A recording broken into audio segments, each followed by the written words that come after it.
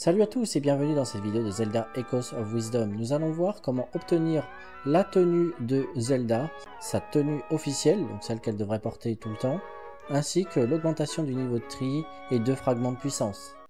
Au château d'Hyrule, littéralement dans la citadelle d'Hyrule, ici se trouve une quête. C'est parti Celle-ci nous remet un trèfle, qu'il va falloir donner au roi.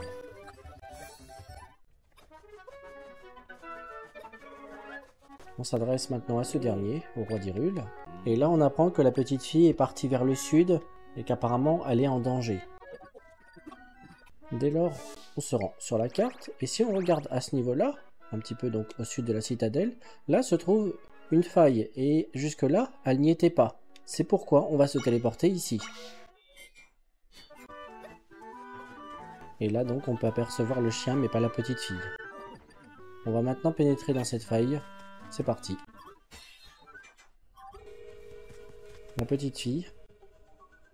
On voit qu'elle a été donc euh, happée par la faille. Là, nous avons des limaces de feu qui sont gênantes. Soit on attend qu'elles soient passées et on monte, soit on utilise un écho pour les vaincre. En l'occurrence, là, ici, je vais attendre. Si on ne pas se faire brûler. Si vous trouvez que je suis rapide sur l'escalade, c'est parce que j'utilise un item en particulier et j'ai fait une vidéo dessus.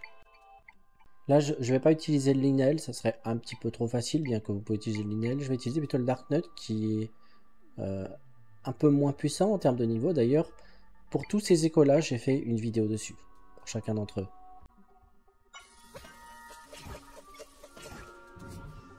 Cela a pour effet de libérer une sphère que je vais ramasser tout de suite. Si c'est un petit peu dangereux, on va essayer d'aller vite. Voilà, une deuxième sphère. Là, j'utilise la niveau 2. Une partie d'une vidéo chapitrée que j'ai faite présente cet écho-là. Ici, nous pouvons utiliser par exemple le Morquin. Pareil, j'ai fait une vidéo dessus. Sur comment l'avoir relativement vite et facilement.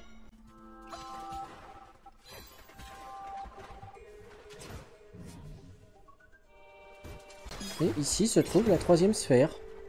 Et là, on est bon. Et voilà, c'est chose faite. Grâce à ceci, on va pouvoir augmenter légèrement le niveau de tri. Et nous obtenons également deux fragments de puissance. À présent, on sort.